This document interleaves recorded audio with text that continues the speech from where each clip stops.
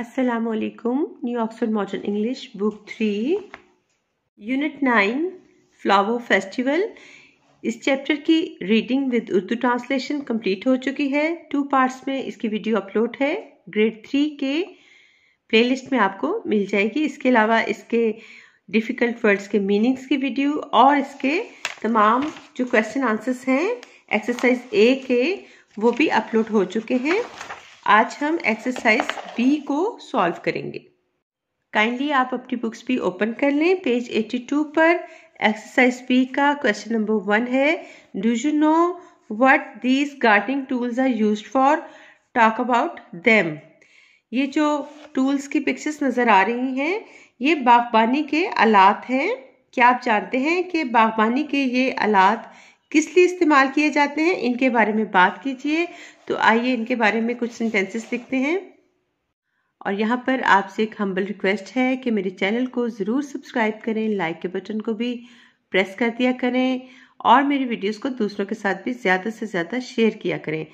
इस चैनल के अलावा मेरा एक और चैनल है, उर्दू जल तरंग के नाम से। आपने उसे भी सब्सक्राइब करना है। वहाँ पर आपको बेहतरीन उर्दू पोइट्री उर्दू स्टोरीज अफसाने और इकवाले ज़री मिलेंगे। इन टूल्स को आप अच्छी तरह देखें और समझें ये आपने अक्सर अपनी लाइफ में कहीं ना कहीं देखे होंगे। ये है लॉन मूवर ये क्या है? Lawn mower is used to cut grass in a lawn फिर है watering can a watering can is used to water plants rake. A rake is used to gather leaves and to smooth the surface of soil. Spade, belcha. A spade is used for digging. Scythe, ये C silent होता है इसको scythe पढ़ते हैं। A scythe is used to cut grass और crops बड़ी दरांती को कहते हैं। गार्डन ट्रॉवल बागबानी के लिए खुरपी या खुरपा। A garden trowel is used to dig holes to put plants and seeds pruners pruners are used to cut branches exercise B का क्वेश्चन नंबर टू है. Arrange the following words alphabetically ये जो वर्ड्स दिए गए हैं, इन्हें alphabetically लिखना है. अल्फ़ाबेटिकली क्या होता है? जैसे उर्दू में हम अलफ, बे, पे, ते, हरूफ तहजी को तरतीब से लिखते हैं. इसी तरह इंग्लिश में alphabetically order A B C D Z तक जो ए बी सी की तरतीब है, उसके मुताबिक इन अल्फाज को आपने लिखना है. यहाँ पर आप ये देख लें कि ये पहला जो वर्ड है डिफरेंट ये डी से है, फिर एम है, लेकिन हमने ढूँढने हैं, इसमें ए वाले कौन से हैं? तो ए वाला एक वर्ड है एनुअल तो इसे हम पहले लिखेंगे, फिर उसके बाद बी वाला है बोनसाए फिर सी कनेक्टेड यहाँ पे मैंने अरेंज कर कर लिख दिए हैं, आप नोट कर लें. Annual bonsai connected different evergreen floral fragrance landscape monkey rivers अब आर वाले दो हैं तो पहले आर आई वाला लिखेंगे, फिर आर ओ वाला रोजेस और वैलीज पेज 83 पर एक्सरसाइज बी का क्वेश्चन नंबर थ्री है। Synonyms are words that have a similar meaning synonyms जिन्हें उर्दू में मुतरतफ कहते हैं, ऐसे अल्फाज होते हैं जिनके मायने एक जैसे हों। For example sweet and sugary जैसा कि यहाँ पर आपको एग्ज़ाम्पल में बताया गया है स्वीट एंड शुगरी इनके एक ही मीनिंग बनते हैं। इसी से रिलेटेड ये क्वेश्चन ए है find two words that are synonyms of smell in the passage ये जो आपने लेसन पढ़ा है फ्लावर फेस्टिवल इसमें स्मेल के टू सिनेम्स आपने ढूँढने हैं तो वो कौन से हैं? फ्रेगनेंस और परफ्यूम अब हम क्वेश्चन नंबर थ्री का पार्ट बी देखते हैं, क्या है? Match the words to their synonyms in the table below ये जो वर्ड्स दिए गए हैं, इनको आपने मैच करना है। ये एक दूसरे के सिनेम्स हैं। तो ये भी मैंने आंसर लिख दिया है। आप यहाँ से नोट कर लें। Pretty beautiful kinds types purpose reason help aid exercise C question number one write a few sentences about a vase of flowers फूलों के गुलदान के बारे में आपने चंद जुमले लिखने हैं।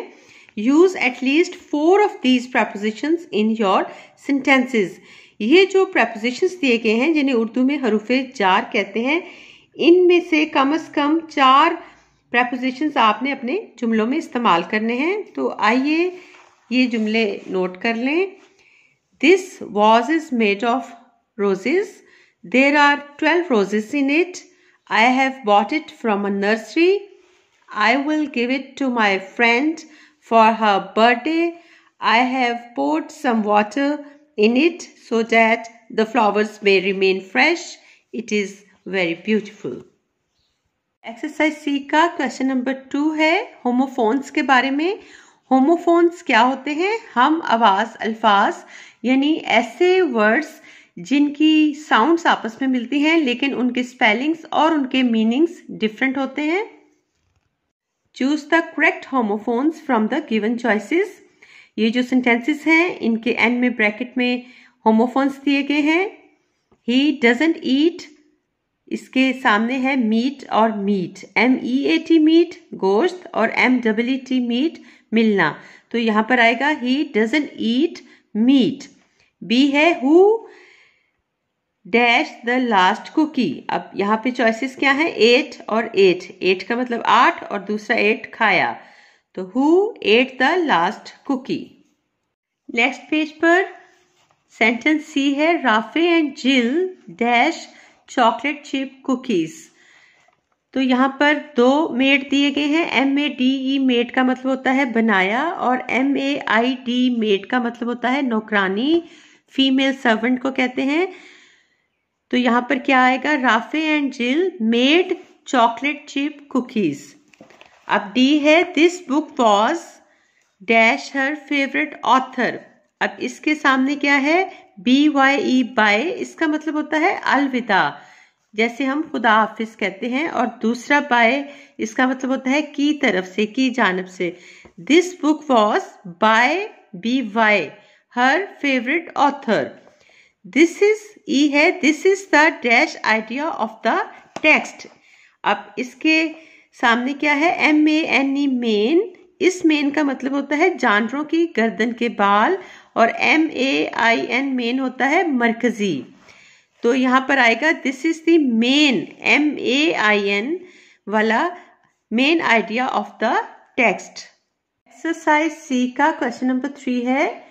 मेल और फीमेल के बारे में, यानी मुजक्कर और मोनस के बारे में।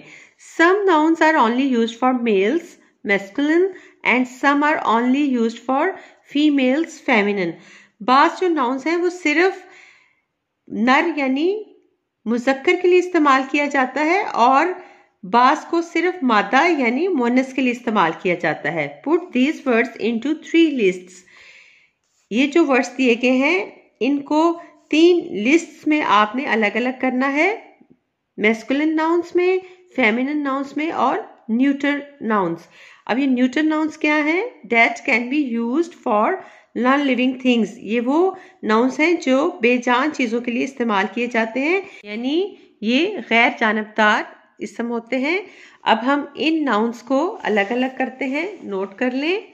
Masculine nouns king brother boy feminine nouns queen madam sister mother girl neuter nouns team human child person relative group next video में यूनिट नाइन फ्लावर फेस्टिवल इसकी एक्सरसाइज ई और एफ़ को सॉल्व किया जाएगा. थैंक यू अल्लाह हाफिज़.